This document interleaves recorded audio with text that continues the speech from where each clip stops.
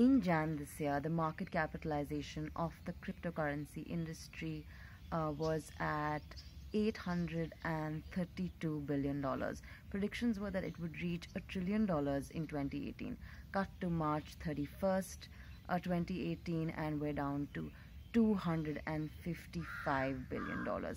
That's a 68% drop. Uh, when I spoke to you last, Bitcoin was between 7,600 8,000 dollars.